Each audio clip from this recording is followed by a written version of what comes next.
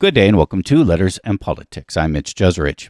In talking about American slavery, it's usually, if not always, about the southern portions of the United States. Rarely, if ever, do we talk about California. Now, it's true that the state legally banned slavery almost at the very beginning, but one could make a strong argument that when it came to California's indigenous populations in the middle of the 19th century, and before that with the Spanish and Mexican rule, California slavery had slavery by any other name. Indentured servitude would be one such name. Many indigenous people throughout the state were literally tied to a master who would be hunted and returned if they escaped. Men and women alike worked in the fields and homes of large land owners, land usually taken from indigenous people themselves. But California's indigenous people, who also faced what Benjamin Madley called an American genocide, resisted these conditions and preserved their culture and stories, and today are an important player in California political life.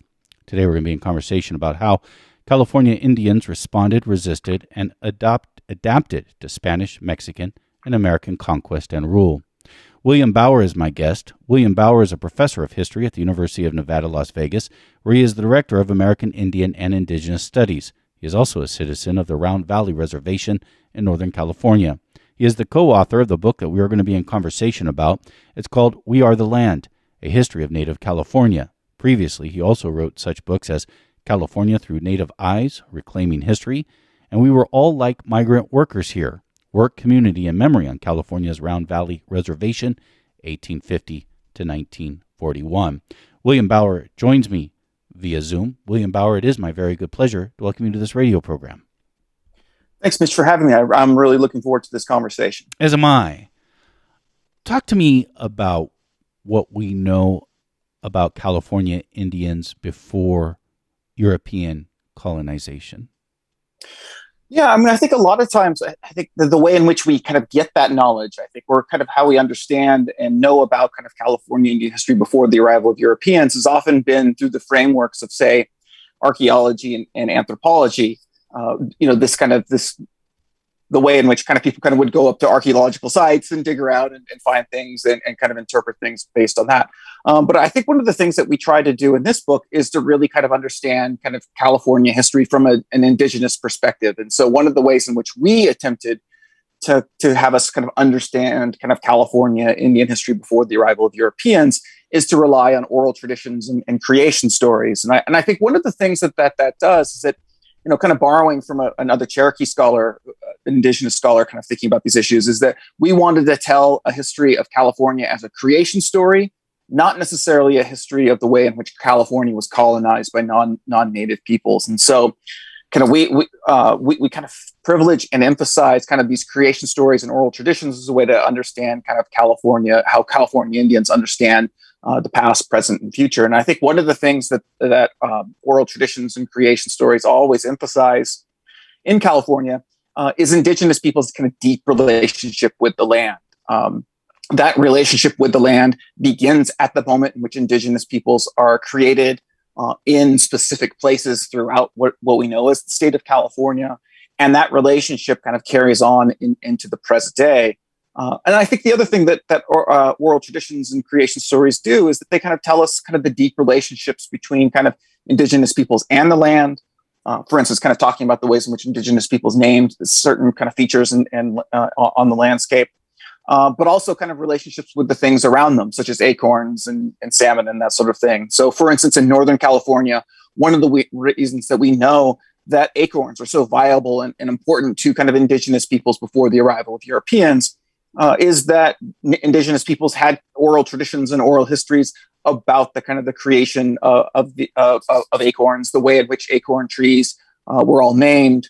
Uh, so, I mean, I think one of the ways in which we really kind of try to get at the way in which how we or how we understand indigenous kind of this history before, before Europeans arrived is to think through and use oral traditions and, and think about relationships to the land, indigenous relationships to the land, and indigenous relationships to to other facets of, of California life, such as plants, rocks, animals, and that sort of thing.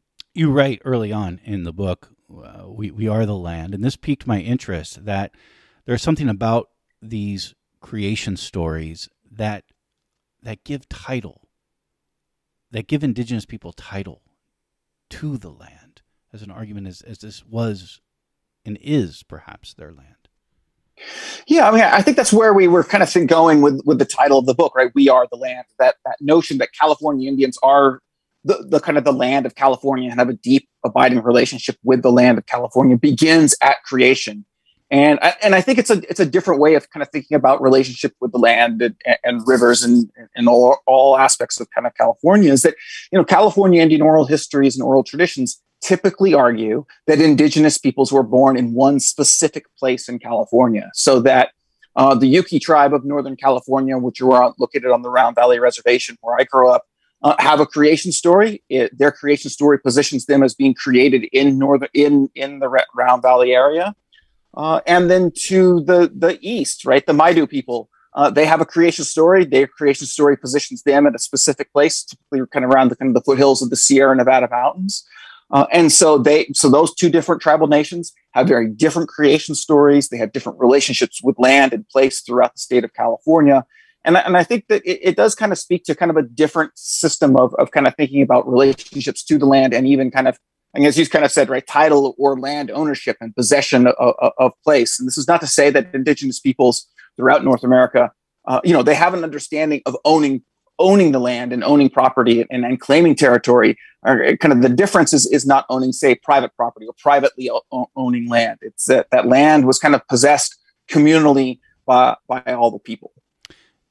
Do you think this should have any kind of, of legal standing? And, and it, does this counter sort of the, the european notion of the beginning of california? Well, I, I think tribes have, have long kind of fought to have or to use or, or these oral traditions and these oral arguments, uh, these oral histories kind of to prove this kind of original, this aboriginal title. I mean, this is kind of a long-standing kind of political context, legal context, right? In in, in North American history, not only kind of uh, focused, say, on California, uh, right? Uh, the the doctrine of discovery, right? That that kind of 15th century kind of set of kind of legal doctrines that were created uh, right after kind of Christopher Columbus gets lost in the Caribbean kind of undermined and or made the argument that that indigenous peoples did not kind of own property, didn't have kind of what we would understand in kind of a capital sense, kind of title of uh, title title to the land.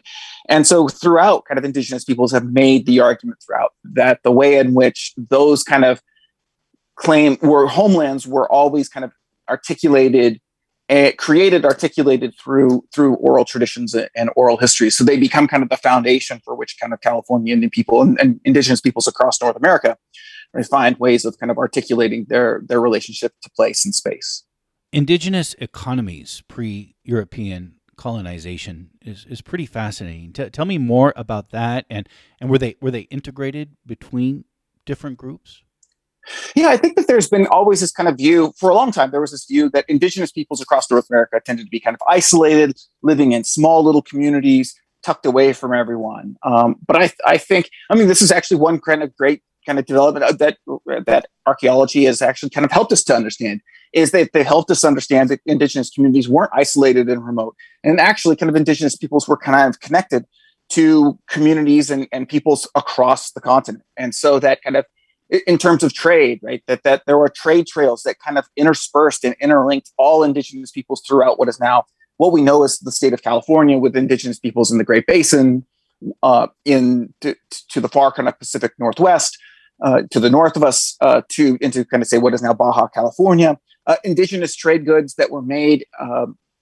on the Pacific coast in, in, what is now Southern California could end up in Pueblo communities in, in, what is now central New Mexico, right? So we do. So I think one of the things, kind of one of the kind of important aspects of this kind of pre-Columbian or this kind of yeah this pre kind of European colonization economic practices was kind of this vital and rich trade network that stitched together indigenous communities across regions and across kind of especially kind of on the western part of this uh, of this continent. Uh, and then on the other hand, as I kind of mentioned a little earlier, uh, indigenous peoples kind of relied on kind of hunting good, uh, hunting kind of uh, animals, and, and, then harvesting a variety of plant life throughout California. So, right, if you look at Northern California, uh, right, acorns are kind of the staple kind of economic good that is both traded and consumed within communities. Uh, and it, unsurprisingly, right, it, it features so prominently in oral traditions. But you know, if you go down to the Colorado River region of North America, of what is now California, you see indigenous peoples practicing kind of floodplain agriculture. uh, you know, it, it, was a kind of a vital, kind of enriched, kind of and diverse kind of economic region uh, before kind of the before contact with, with Europeans, and, and and I think we'll kind of get at this as we kind of carry on to this conversation. Is that that kind of diversity, these kind of economic practices by indigenous peoples will persist into the 20th and, and into the 21st century. That that was going to be my next question. Is is did these economic systems survive post European settlement? Absolutely, and, and they, they kind of survive in kind of different and, and u- unique ways. Uh, indigenous peoples were kind of continued to they they continued to trade with newcomers. Right when the Spanish first arrived on the shores of what is now California, indigenous peoples uh, would often come out to meet them. And actually, I, I, I, it shouldn't even be shores. A lot of times, the first encounters between indigenous peoples and the Spanish occurred out on the Pacific Ocean. That indigenous peoples would see these Spanish ships sailing up indigenous peoples would get into their own vessels canoes and, and and that sort of thing and row out and meet them and, and try to get on their ships and kind of engage them in trade and, and these other kind of activities uh, and so kind of trade was kind of a vital way in which indigenous peoples first encountered uh, the spanish and, and uh, english traders and, and, a whole host of, of, of people in in that kind of first encounter and so kind of trade was kind of vital to that first encounter uh, the trade of foodstuffs, for instance, indigenous peoples would often kind of exchange the food that they had to, to Spanish sailors for material goods. Um, but indigenous peoples had a whole host of things that that, that the Spanish kind of uh, desired. I guess would be the kind of the, the, the, important word there, right? So not only was it food, but it was knowledge and information. Um, indigenous peoples knew about other Spanish expeditions that were occurring in the interior of California, uh, interior of North America, and that information would kind of would be kind of passed from from community to community and the native peoples when they would when they would meet with the spanish and they would say something like oh sure we know about other people like you more in the interior of california um, and then it was indigenous knowledge right? I mean the spanish didn't know how to sail along california's coast but indigenous peoples did. And so often that they would uh, you know guide spanish ships into safe harbors. They would tell the spanish about what uh, you know how to kind of navigate the pacific coast a whole host of kind of trade goods, uh, information, knowledge, uh, indigenous peoples of, of, California kind of traded and shared uh, with Spanish newcomers, beginning in the 16th century and kind of continuing on uh, into the 17th, 18th, and, and, 19th centuries. I have one last question about oral histories, though, of course, and oral stories. Though, of course, we can get back into them later if if, if it's appropriate to. Um, but that is, and, and this was fascinating. You have a previous book about this a New Deal program during the 1930s that sought these indigenous stories.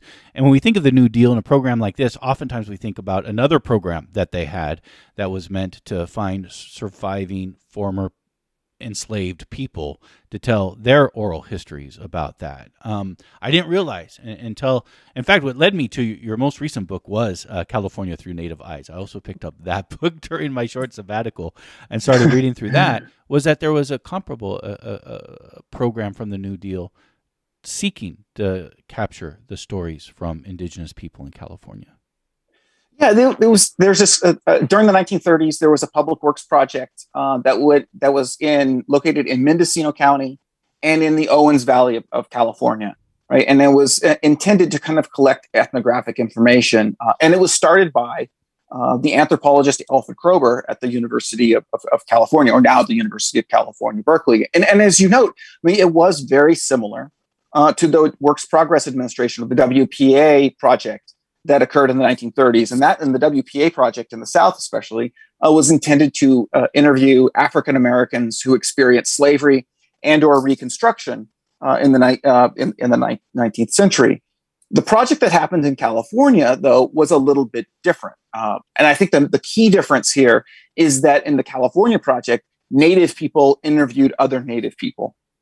Uh, this was this was one of the this was kind of developed at the founding of the project. So Alfred Kroeber, when um, he applied to the state to create this kind of this this he wanted kind of a much larger kind of ethnographic or kind of oral history collection or oral history project in, in the 1930s. Um, he said he wrote it in his grant proposal is that he wanted Native people to interview other Native people. Uh, in in part, right, because it's the Great Depression. Native Native people were kind of suffering from kind of high rates of unemployment because of the of the Great Depression. So he wanted to kind of inject, help inject um, at least some kind of wages into Native communities. And so he wanted to kind of do this project throughout the state. Uh, it, but it kind of was kind of uh, reduced to just be Mendocino County and in the Owens Valley of California.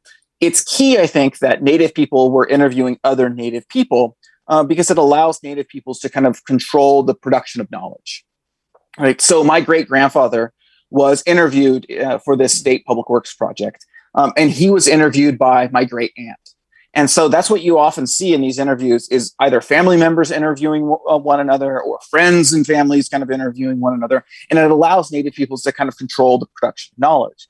And that's one of the kind of the criticisms of the WPA slave narrative projects that, that we had just mentioned. I mean, that's a the WPA slave narratives were vitally important to kind of re, uh, re kind of interpreting how we understood uh, the uh, right slavery and, and Reconstruction. But often, what would happen in that project is that white public employees would be interviewing elderly African American people, right? So there we kind of see these kind of odd dynamics of power uh, existing in those, where people have said that maybe African Americans weren't often kind of free to say what they really thought or what they really experienced in these interviews because of the power dynamics that that um, that went on there. I mean, there's some anecdotes, for instance, that um, one W white P, uh, WPA uh, worker who was interviewing an African American was actually descended from uh, his his interviewee's uh, slaveholder, right? So I mean, there's these kind of dynamics of power that aren't weren't necessarily evident uh, in the in the public works project that existed in California. If you have Native peoples interviewing other Native peoples,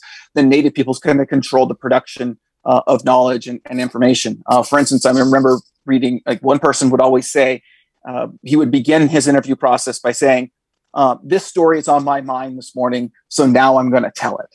Right. So I think you can kind of see that that that person kind of shaped and controlled what kind of what was being said who was he telling it to, and the way in which the stories and his knowledge that he was sharing was going to be controlled. Um, and I, I mean, I, I, as I, I kind of mentioned earlier, like my first book too, we were all like migrant workers here was kind of debt was built on kind of oral histories and oral traditions. So it's been kind of really kind of part of what I have done as a, as a, as a scholar and researcher. I mean, I, when I began doing graduate school, I, mean, I couldn't envision writing a history of where I'm from, from Round Valley, um, without interviewing people uh, for that for that project. Right? The title of the book, "We Were All Like Migrant Workers Here," came from uh, an interview that I did with my aunt.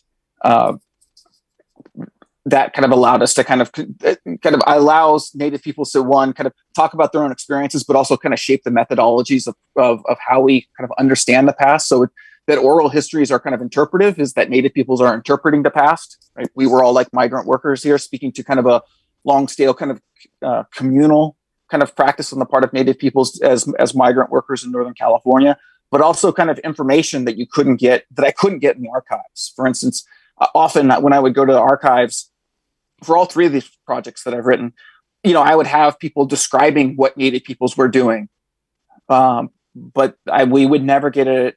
I could never get what was it like to be a migrant farm worker from a Native perspective. And I like one of the great things that I always remember is like um, I was interviewing a, a, a, woman from Round Valley for about this project, and I asked her what it was like to be a you know to to to be a migrant farm worker. And one of the anecdotes that she told me was that um, when the the workday was done, Native peoples would all get together in Mendocino County. They would uh, play grass game, kind of a gambling game with one another when the workday had concluded.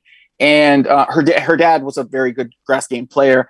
And what she would do is that she would lay on his back and she would fall asleep every night kind of leaning on her on her dad's back as he would play grass game late late into the evening with other with other farm workers. And I mean that's not something that I could get from the archive right? That's not anything that uh, officials in the Bureau of Indian Affairs or or employers could ever tell me that would would be written in the archive. That's information that I could only get from uh, from doing oral history interviews. And I think that kind of perspective definitely kind of feeds into California through native eyes and definitely is in, in, in, this recent book, We Are the Land, is kind of building on and kind of utilizing kind of oral history and oral tradition to kind of understand California from a from an indigenous perspective.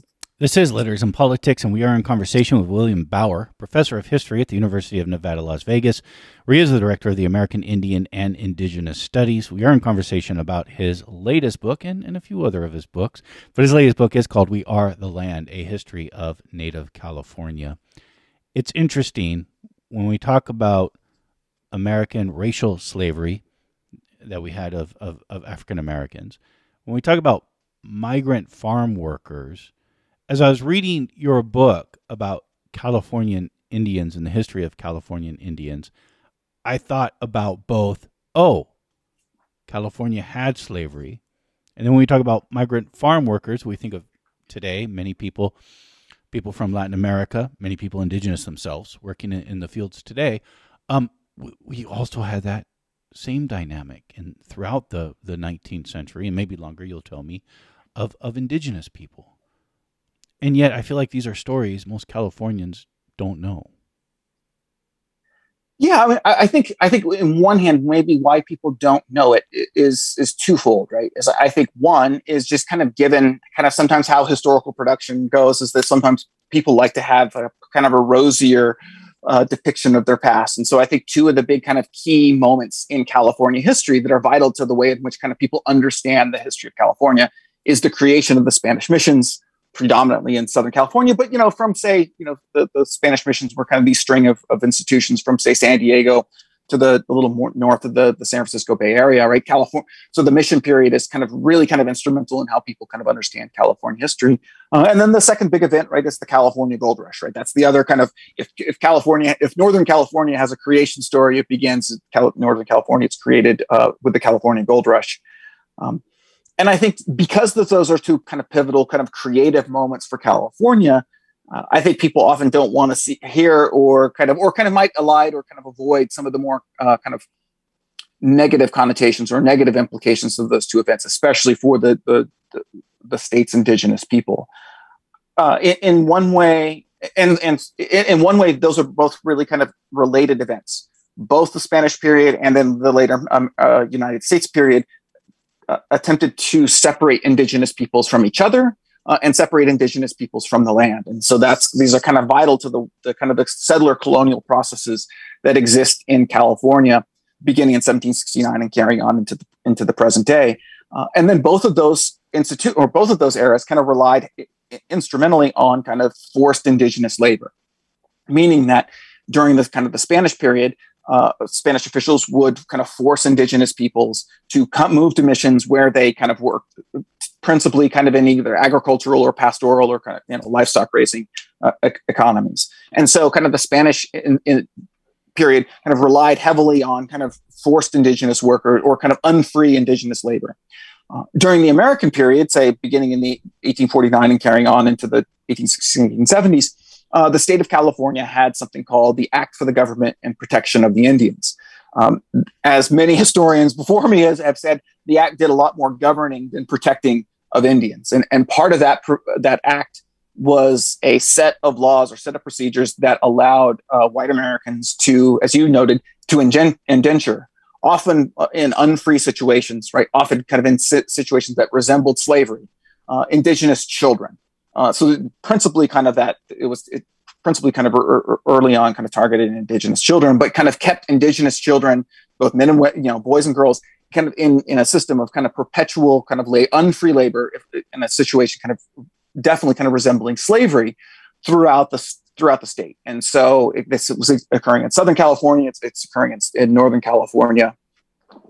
Uh, and it kind of vastly kind of kind of shape, reshaped kind of California Indian lives, especially after the California Gold Rush. I mean, California Indian children were trafficked across the state uh, in that people would attack indigenous communities, capture children, and then sell them in places like Sacramento and into San Francisco.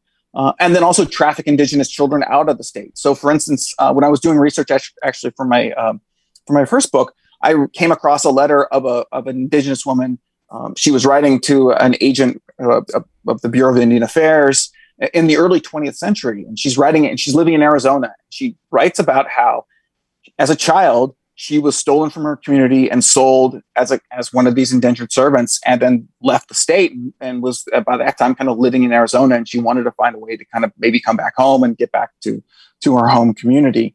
Um, so you kind of see these kind of definite kind of practices up and down the state of California, this kind of this system of kind of of, of enslaved labor, unfree labor uh, that begins in the 1760s with the arrival of, Span- of, of, the Spanish and continuing for another century, well into the late 19th century. Do you think we should consider it slavery? Um, yeah, I think I think what that is is doing is asking us to think about um, a broader definition of slavery. I, think when most people in United States history think about this about slavery, they think about it in the context that you just raised it. Right? It's typically located in the South. It's typically this kind of chattel slavery, uh, and it's typically kind of a white black kind of issue, right? In terms of kind of race relations that it that it's produced. Uh, but in in in when you move into the American West, you, it, it becomes a bit more diff. It, it, it looks a little differently. It is more relying on other forms of co-opting in, uh, people for un- unfreely kind of taking their labor, right? So it's relying on kind of indentured contracts that indentured servants, uh, debt peonage, uh, indebting people and then making them kind of work and, and, not giving them opportunities to kind of leave or earn earn wages and that sort of thing. Uh, these other kind of practices that looks that have these systems where kind of indigenous peoples are kind of trapped in this kind of perpetual system uh, of of unfree of, of not being able to kind of of, of unfree labor. And this is something that would begin with the Spanish missions, um, continue through Mexican rule after Mexico gains its independence in 1821. Though, and I think this is important to the question I'm going to get to, at least Mexico allowed, if indigenous people, I guess, owned a certain amount of land or wealth, to be citizens of Mexico. That gets us to the creation, after the Mexican American War, the United States takes over, and the creation of the state of California, We're at the California State Constitutional Convention in Monterey uh, in 1849, they took up the issue of indigenous standing within the state. And they had an opportunity there to actually sort of change history. Um, and by a 21 to 20 vote, denied indi- indigenous people citizenship right of, of the state of California. Can, can you tell me? I, I don't think most Californians know this about the Constitution of the state. And, and this is happening when in Washington, D.C., we're starting to see a very vigorous, robust debate over slavery there and citizenship issues there. Here, we, we had it in California about indigenous people here in this state. Yeah, it's kind of an interesting way, of, I think, of thinking about kind of United States history in general. Uh, and, and as you noted, right, during, uh, after the Mexican independence movement and the creation of the Mexican nation state, uh, some indigenous peoples became kind of citizens of, of, of, Mexico. And that means that they, you know, had the same kind of citizen, citizenship rights of, of other peoples within Mexico. And it's be kind of, the notion is kind of equal before the law, right? That, that native indigenous peoples were, were just like any other kind of Mexican citizen. This isn't for, for everyone, not, not everyone, but definitely say in this, in what would be in California, definitely indigenous peoples that were living on and near missions during the Spanish period would be kind of ideally suited for this kind of citizenship. This is not the way in which the United States kind of thinks about its relationship with indigenous peoples, right? The United States, beginning kind of in, in the 1820s and 1830s, begins to, to kind of develop an argument that indigenous peoples are not citizens of the United States. They're actually wards of the government or wards of the United States, and that the United States needs to kind of protect indigenous peoples uh, and we see a little bit of this kind of relationship manifesting even into the even into the 21st century. And so, when uh, California becomes part of of uh, of the United States, that you have this kind of this kind of tense situation in which you have uh, indigenous peoples that are not, are considered to be kind of citizens under under Mexico and under the uh, Treaty of Guadalupe Hidalgo. Uh, Mexican citizens, including indigenous peoples, would have the same kind of would would be kind of have the same rights as, as American citizens. Uh, but that's clearly not what happens in California, Arizona, New Mexico. Uh, those kind of that that other relationship, that other notion that indigenous peoples are kind of wards of the nation or wards of the United States and are in, intended to be kind of protected by the United States, um, precedes or eclipses that idea about uh, about citizenship. And so, as you noted, right, the, the California Constitution is very clear that it kind of takes away uh, it denies indigenous peoples the right to vote, whether or not they own private property, right, as, as one of the, the main conditions. Uh, the United States passes, uh, or the state of California, excuse me, passes that, that law that I just discussed, the law the, uh, the Act for the Government and Protection of the Indians, which outlines, so in addition to kind of stipulating that, that indigenous children could enter into, enter quote unquote, enter into kind of indenture contracts, their indigenous peoples had certain crimes uh, there were vagrancy clause for indigenous peoples that didn't apply to everyone else. Uh, indigenous peoples um, couldn't uh, set fire to the prairie or set fire to grasslands. That was a kind of a typically important way in which indigenous peoples managed and uh, managed the landscapes, the ecosystems uh, before the arrival of Europeans, and then continued on to those practices. So there's all of these kind of you know these ways in which kind of indi- indigenous peoples lack the same kind of what we would now call right civil rights, voting, uh, vagrancy clause, kind of the, these kind of things that uh, that affect in- indigenous peoples.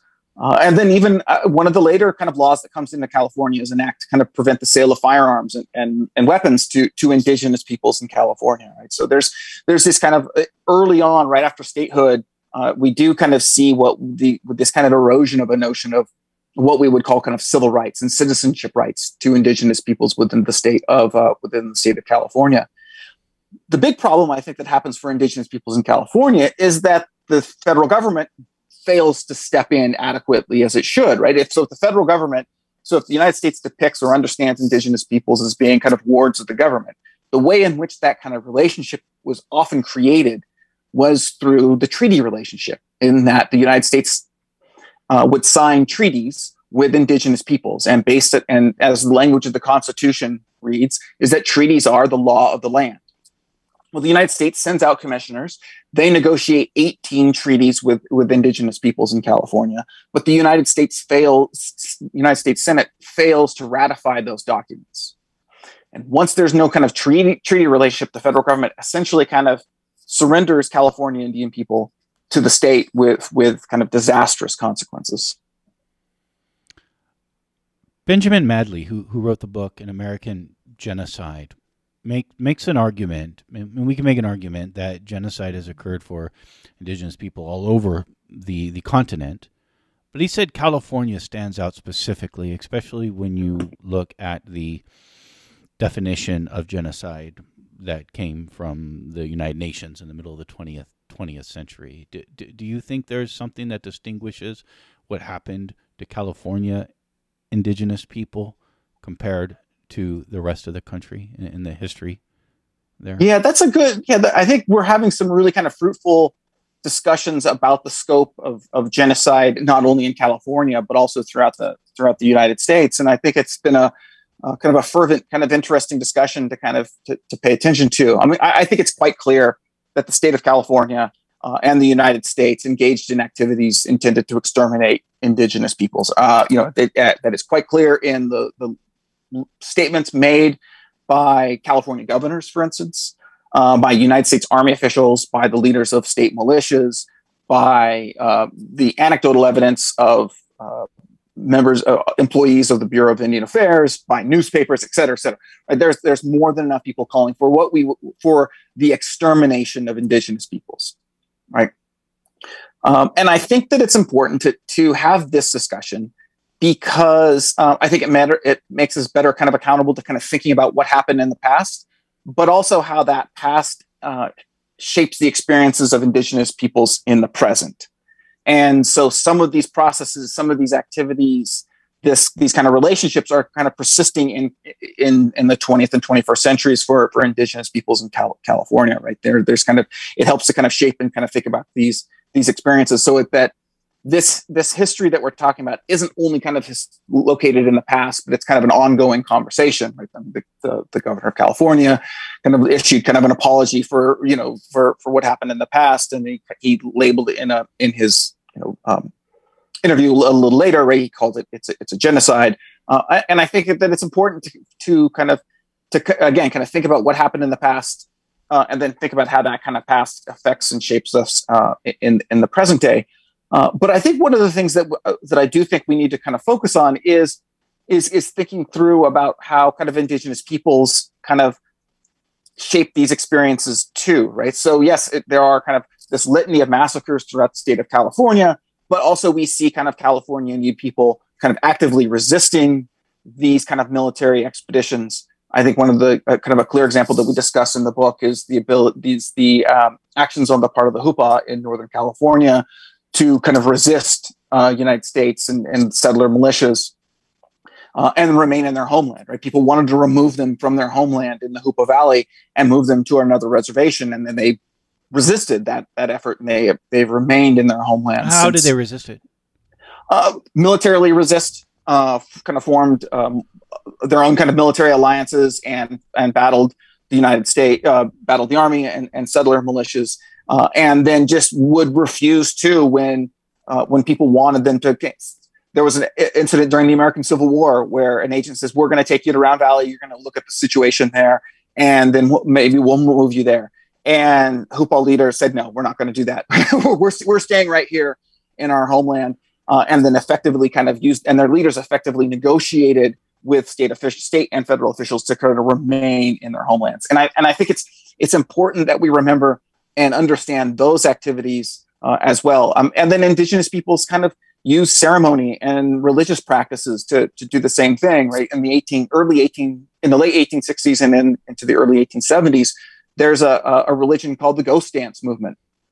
I think most people think about the ghost dance, they think about the later one, the 1880s, 1890 ghost dance movement uh, that I think most famously is kind of one of the kind of the sparks for the Wounded Knee massacre on uh, in, in, South Dakota. But 20 years before that, a version of the ghost dance spread from from northern Nevada into California and into southern Oregon, uh, and it's basically kind of spreading very kind of popularly uh, in these areas that were kind of made over and attacked by these kind of genocidal campaigns by these settler militias and by the United States. And so, right, I mean, indigenous kind of religions kind of seek a way in California to kind of recover from those losses of, of those genocide uh, of genocide. And so not only is there kind of a political military response to these expeditions to kind of maintain kind of what we understand to be kind of sovereignty today, but also kind of a religious and cultural acti- uh, actions on the part of indigenous peoples to kind of make sense and to shape and adapt to the world that that had uh, that was com- that was occurring in the 1860s and 1870s. The the idea behind the ghost dance is that it would bring back their world. Yeah, so the, the, the 1870 ghost dance was a was a call to it would restore uh, the people who had gone away. Uh, it would restore animals that had been destroyed, often through the the the, Cal- the activities of the California Gold Rush. Right, it was a uh, and it was a way too for California Indians to kind of uh, kind of deal economically, right? So it was a way for them, in some instances, to kind of make sense or kind of adapt to kind of new economic opportunities. And so it was, uh, you know, much like kind of the later ghost dance movement that was both kind of backward and forward looking. The 1870 movement was kind of was backward looking to seeing revive and re- and restore a world that was kind of overrun by genocide and and mining economies, but also kind of looking forward to kind of sustain and support indigenous communities going forward. I want to go back to the, the, the gold rush because this was devastating for Californian Indians. Um, how, how did they respond to it? And did I mean I mean some tried to get in on the wealth that was being mined, but were basically prohibited from from doing so. Is that correct? Yeah, early on, unsurprisingly, right, California Indians were were kind of a, a workforce. Uh, sometimes that they w- might work for uh, Mexican citizens, later kind of American, right? So, so the California Gold Rush kind of actually be, kind of begins right at the end of the Mexican period, and then right after kind of the the, the American takeover, uh, and so people uh, American uh, former Mexican citizens and then uh, uh, then Americans might hire kind of gangs of, of California Indians to kind of go and pan for gold and mine for gold, uh, especially kind of early on. Other California Indian people might kind of be figured out, kind of understood, right, that there was kind of an economic boom that that you find these minerals and you can kind of get uh, pay, compensated for it, and so they might mine on their on their own.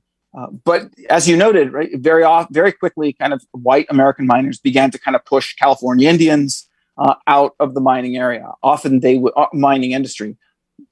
Often they, they relied on kind of violence, uh, right, to, to kind of force California Indians out of the out of the mining industry, attacking native communities, that sort of thing, to kind of to force them out. I do remember there was kind of an anecdote of, for instance, is, is this kind of California Indian youth in Northern California uh, went to one of these. He thought it was kind of an abandoned uh, mining tap mining camp, uh, and then found uh, sacks of gold, uh, and then took them from the house. Uh, and then the miners came back, recognized what had happened. They tracked him down. They they captured him, and then they brought his entire community out. the, the, the young man's entire community out, and they hanged him right in front of of the native of, of of his community. And the purpose right? I, we would we would say for that kind of practice is to kind of install kind of a, a system of kind of violent retribution for any kind of crime that California Indians committed, right? Theft is not necessarily a capital offense, right? It's not something that would that would typically be punishable by death. But for a kind of a California Indian person during the California Gold Rush, those kind of things become kind of the part of or ca- kind of capital offenses. And so what we see is this kind of violent way in which uh, white Americans kind of establish law and order and power over indigenous communities, force them out of the mining mining kind of economy in general. Uh, but there's also kind of other ways in which the kind of the mining industry and the gold rush kind of undermine California Indian lives. It's uh, you know excessive silt from the mining industry kind of gets into the streams and rivers of northern California, uh, preventing kind of salmon runs and killing sam- killing off kind of salmon populations, which were an important food source for California Indians. Um, if you've ever been up to like Northern California, you know, the Sierra Nevada areas outside of Northern, you know, I the one I'm thinking of right now is outside of Oroville, California, right? In hydraulic mining, essentially kind of stripping aside, stripping away the kind of the, the mountainsides of Northern California, uh, undermining kind of indigenous ecosystems, uh, preventing them from kind of harvesting acorns and, and hunting for, for uh, and, and, hunting uh, and fishing, as, as we noted earlier, right? So the California Indian, uh, the, the, California gold rush kind of undermines California Indian economies, not only preventing them from participating in these new economic activities, but also kind of under, undermining and destroying older economic systems. And so, you know, that's one of the reasons I think one that California Indians kind of became migrant farm workers, right? It becomes a way for them to kind of make a living when when their kind of ecosystems are being kind of undermined by mining economies and then other kind of agricultural economies a little bit later. But also kind of it speaks to kind of the importance of the other thing that I mentioned a couple minutes ago, the, the ghost dance, right? The, the ghost dance was was an effort to kind of restore those uh, old ecological systems uh, and ecological relationships with plants, animals, uh, and, and other human beings. And so, uh, right, the, the, we see this kind of I think, unique, innovative way that that California Indians kind of adapted to kind of a, these kind of catastrophic events in the ni- in the 19th century. You mentioned earlier that in 2019, California Governor Gavin Newsom officially apologized, um, and in an interview later called what happened a, a genocide, but that wasn't actually in the official documents. Is there is there significance to that? Well, I, I think it's what, we, what, I've been kind of, or what I maybe mentioned a little earlier. I, I think it's, it's, a, it's, one of these moments where kind of Americans and, and I, I, think even kind of other people across, you know, kind of a typical thing, right? Is that we want to kind of have a, a rosy kind of picture uh, of the past, right? This kind of notion of what we'd say kind of American exceptionalism, right? That that the United States is this kind of city city on a hill to which kind of people kind of aspire. Um, and I think using terminology like kind of genocide, uh, obviously, right, uh, conflicts with that understanding of, of the United States' past. Um, but I think that, uh, and, and, that's what I, I, think that's one of the kind of the benefits of kind of interrogating genocide in California, interrogating genocide across kind of North America, as, other scholars are kind of doing. I think it's important for kind of having kind of an, an accountability of what you know what is the kind of what is the history of the United States? What are the kind of the ongoing implications of settler colonialism in, in California in the United States? And and I think also fundamentally is is how that how kind of these kind of this history of adaptation and kind of colonialism affects indigenous communities in the present day. One of the kind of the, this is becoming very kind of well known, I think, hopefully, right? In especially in terms of Canada and the discovery of you know unmarked children graves at former residential schools. Uh, you know, in most of them are kind of that I've seen have been in like in the British Columbia area, um, raising kind of awareness of these kind of these these practices uh, that are not only right. It's not only that that it's not only going to happen in Canada, right? There's the the accounting of what has happened in, in the United States in terms of kind of the off reservation boarding school system, for instance. I, th- I think speaks to kind of this way of of thinking a bit more critically about what happened uh, in in the past and, and how it kind of shapes and affects indigenous communities in the present. So what we're seeing in, in Canada with the burning of, of the churches as as people are learning about what happened to indigenous children then that's not so far removed from where we are. No, I don't think so. Right? I mean, as we've seen, uh, is that people have gone and top toppled uh, monuments to uh, Confederate generals, right in the in the South. Uh, there's been efforts to kind of remove and and, and thinking critically about, say, monuments to Junipero Serra here in the state of California. Uh, you know, I, I, think there, yeah, I, I, think there's often these, I think these moments are kind of really kind of important for thinking about, you know, kind of public memory, uh, monuments and commemorations of, of past events and how these other, how these kind of other things have kind of shaped and, and affected indigenous communities again, like in the present, in, in the present moment. Yeah. The, the city Fremont here here in the in the Bay Area is just seen as you know a, a, southern Bay Area city, but named after John C. Fremont, who, I mean, his his record when it comes to California Indians is, is really terrible, which is also interesting and gets us into this strange dynamic of when you compare things of this time to the Civil War. He was a, a Union general Civil War hero who was freeing enslaved people in, in the South even before Abraham Lincoln was. Uh, but on the other hand, he, he, was a, a, prominent Indian killer in California.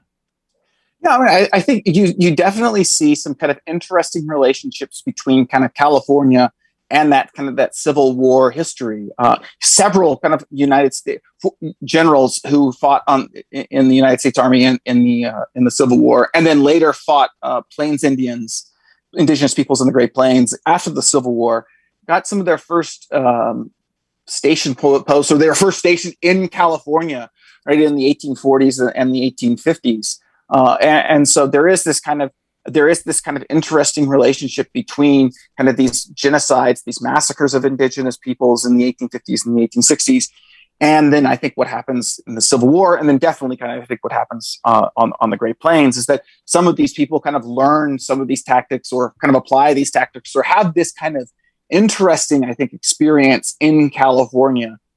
And then kind of, and then you kind of see how their careers develop. I think a little bit, you know, with the Civil War and, and on, on the plains. Um, I think more actually kind of needs to be done. I think to kind of tease out those, I think those interesting connections between kind of California the Civil War, and then the later the the uh, what happens on the Great Plains in the 1860s and 1870s. Yeah, I, I think so too. William Bauer has been our guest. William Bauer is a professor of history at the University of Nevada, Las Vegas, where he's the director of American Indian and Indigenous Studies.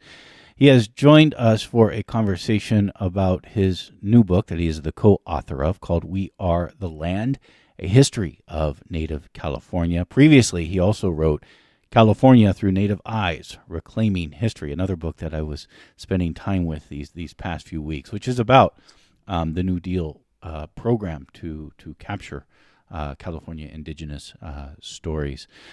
William Bauer, I've enjoyed our conversation very much. Uh, I, I, feel like we've only scratched the surface. There's a whole lot more to talk about. A whole lot more I even suggested we could talk about, but we didn't get to. I, I hope you'll come back again. But but I'm certainly appreciative of you taking this time today. Oh, I'd love to come back and continue this conversation. I've had a really good time. And so thanks again for asking me to do this.